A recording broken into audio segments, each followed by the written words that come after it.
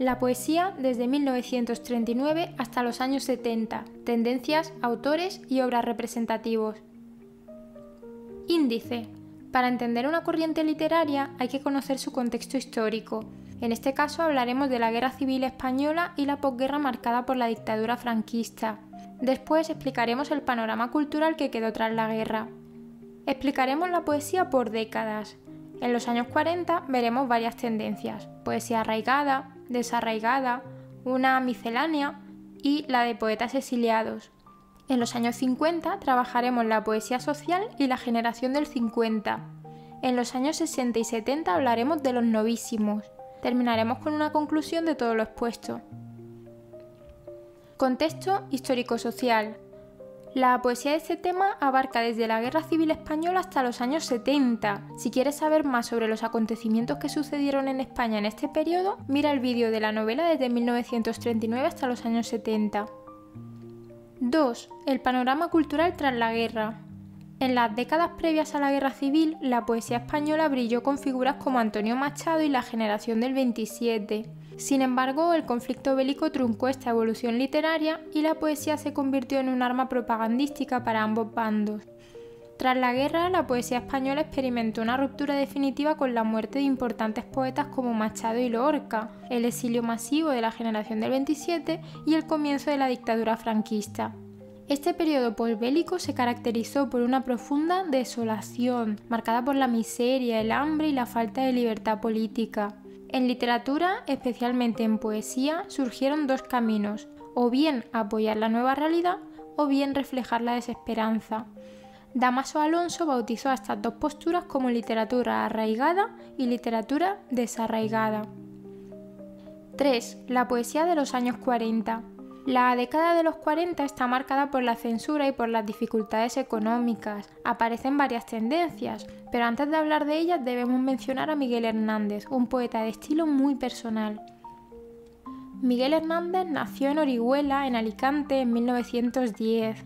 Provenía de una familia humilde y trabajó como pastor de cabras durante su juventud. Pese a sus limitados recursos, desarrolló una pasión por la lectura y la escritura y se educó de forma autodidacta. Hernández se trasladó a Madrid en 1934, donde se integró en círculos literarios. Conoció a figuras destacadas como Pablo Neruda y Vicente Alexandre. Su poesía temprana estaba influenciada por la naturaleza y el campo, evolucionó hacia temas más comprometidos social y políticamente. Durante la Guerra Civil, Hernández apoyó a la República y se unió al ejército republicano en el Quinto Regimiento. Su obra durante este periodo se llama Viento del Pueblo, estamos hablando de 1937, porque refleja su compromiso político y su esperanza en la victoria republicana. Ese año contrajo matrimonio con Josefina Manresa, una joven de un pueblo de Jaén llamado Quesada. La pareja pasó cuatro meses en Jaén, ciudad que ha representado un paisaje físico y emocional para el poeta. Sin embargo, al finalizar la guerra, fue capturado intentando traspasar la frontera con Portugal y fue condenado a muerte, pena que posteriormente se le conmutó por 30 años de prisión. Miguel Hernández murió de tuberculosis en 1942 en la cárcel de Alicante a los 31 años. Su legado literario, marcado por una profunda humanidad y sensibilidad, lo ha convertido en uno de los poetas más importantes del siglo XX. Su obra tuvo varias etapas. La primera, de poesía vanguardista y de influencia barroca. En ella idealiza objetos triviales y utiliza versos enigmáticos influenciados por Góngora, llenos de metáforas que actúan como acertijos para el lector. A esta etapa pertenece Perito en Lunas. La segunda etapa la llamamos poesía rehumanizada porque recupera temas universales como la pasión, el dolor y la muerte con un estilo más simple, inspirado en el cancionero y lleno de imágenes de gran fuerza lírica. Aquí por ejemplo tiene El rayo que no cesa, su tercera etapa es de poesía social y de combate, es poesía bélica, estamos en la guerra civil ya. Esta poesía está destinada a motivar a las tropas, idealizando al pueblo que lucha por la república y los valores de izquierda. Aquí tiene viento del pueblo y el hombre acecha. La última etapa es de fatalismo, ya está en la cárcel y próximo a morir. Está escrita desde la impotencia del encarcelamiento tras la guerra civil y la separación de su esposa e hijo recién nacido, a quien dedica Nanas de la Cebolla. Aquí también tiene Cancionero y Romancero de Ausencias de 1941. 3.1. La poesía arraigada. En esta poesía enmarcamos a la generación del 36 y es afín al régimen franquista.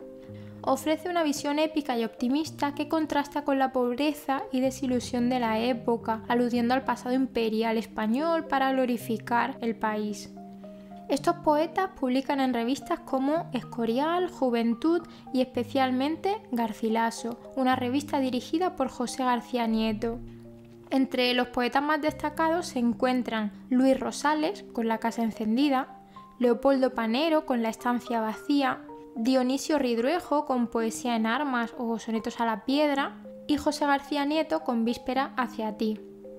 En 1944 se publican dos importantes antologías que marcan la renovación poética, Hijos de la Ira de Damaso Alonso y Sombra del Paraíso de Vicente Alessandre, ambos de la generación del 27. Estos autores, que permanecieron en España durante la guerra, se convirtieron en referentes para los poetas jóvenes. 3.2. La poesía desarraigada. La poesía desarraigada, o también llamada existencialista, expresa la experiencia individual en tiempos de angustia y desesperanza hacia el futuro. Estos poetas mostraron su descontento con el entorno y su angustia existencial. Escribían en la revista Espadaña, publicada en León en 1944. Abordaron temas como la muerte, la tristeza, la soledad, la desesperación, la fe, el amor. Con la publicación en 1944 de Hijos de la Ira de Damaso Alonso, emerge una poesía rehumanizada, centrada en los sentimientos, es decir, en sintonía con las circunstancias del momento, esta obra presenta una visión angustiosa de la realidad dominada por el odio y la injusticia, con un dios ausente. Es escrita en versos libres, utiliza imágenes surrealistas y un lenguaje coloquial y antirretórico. En la poesía desarraigada hay que incluir a Victoriano Kremer, Eugenio de Nora, José Hierro, Ángela Figueroa, José Luis Hidalgo y Carlos Busoño, entre otros. 3.3. Otras tendencias poéticas. En los años 40 surgieron otras corrientes minoritarias pero influyentes en la cultura española. Una es el grupo Cántico, originada en Córdoba en 1947.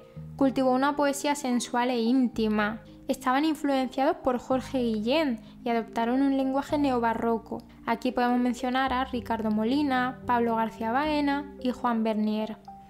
La otra es el postismo, que revitalizó la poética surrealista con un lenguaje de imágenes nuevas, lúdicas y sorprendentes.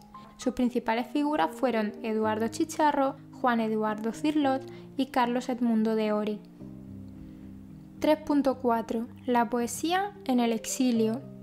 Los poetas exiliados tras la Guerra Civil Española continuaron su obra fuera de España. Algunos ejemplos son los miembros del Grupo del 27, Juan Ramón Jiménez, José Moreno Villa y Juan Gil Albert. Abordaron temas como la pérdida de la patria, la lucha, la derrota, la nostalgia, recuerdos de la infancia y el anhelo del retorno. Un poeta destacado de este periodo fue León Felipe, conocido por su obra combativa y un estilo vehemente y declamatorio con resonancias quijotescas. Ejemplos de sus obras son Español del éxodo y del llanto y Ganarás la luz. 4. La poesía de los años 50. 4.1 La poesía social. Hacia mediados del siglo, la literatura existencialista dio paso al realismo social en España, los escritores abandonaron su angustia personal para retratar la realidad cotidiana de las calles, adoptaron un tono enérgico de testimonio, protesta y denuncia social. Adoptaron palabras como compromiso y solidaridad en su responsabilidad social. Esta poesía de denuncia tuvo raíces en las actitudes comprometidas de poetas como Pablo Neruda y Rafael Alberti antes de la guerra. Para estos escritores, el concepto de poesía se sustentaba en tres principios 1. La poesía es comunicación y debe llegar al mayor número posible de personas.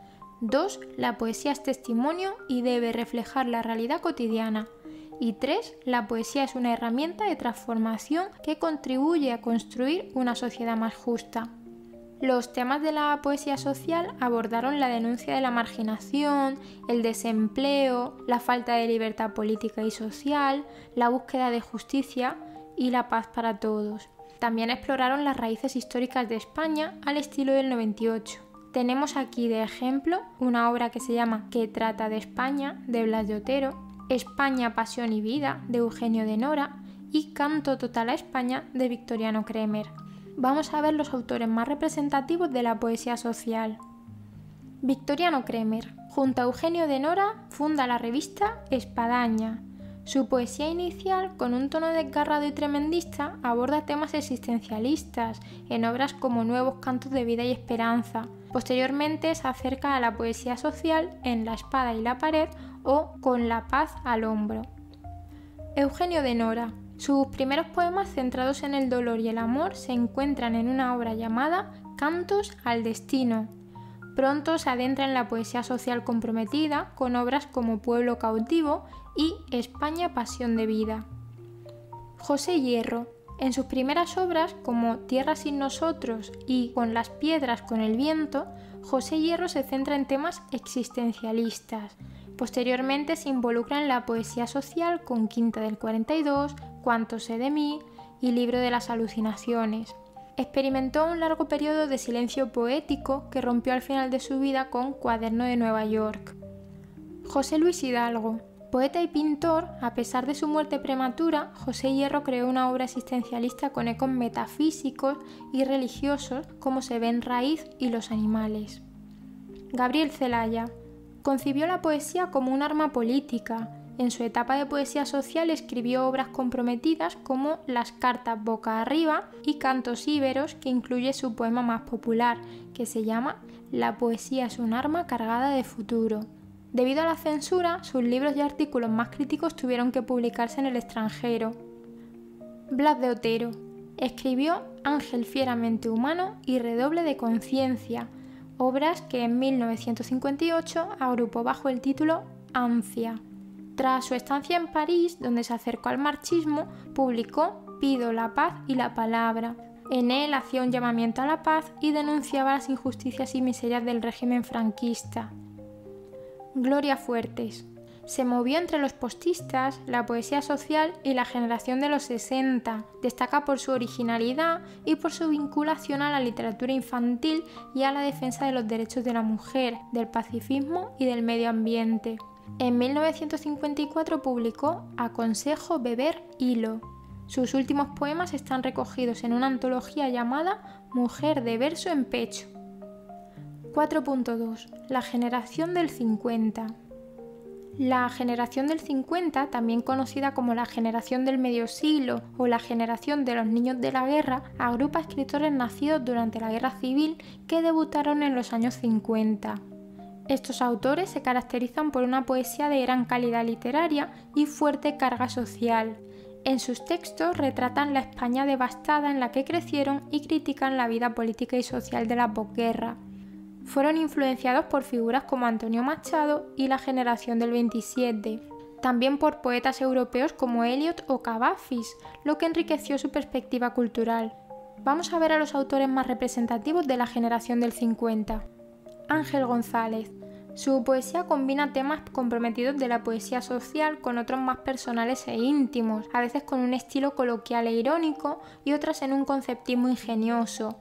Entre sus obras destacan Áspero Mundo, Tratado de Urbanismo y Palabra sobre Palabra. José Ángel Valente es reconocido como el poeta más intelectual y simbolista de su época parte de lo cotidiano o de situaciones sociales inmediatas, pero las eleva hacia temas más profundos. Entre sus obras destacan A modo de esperanza, Poemas a Lázaro, La memoria y los signos y El fulgor.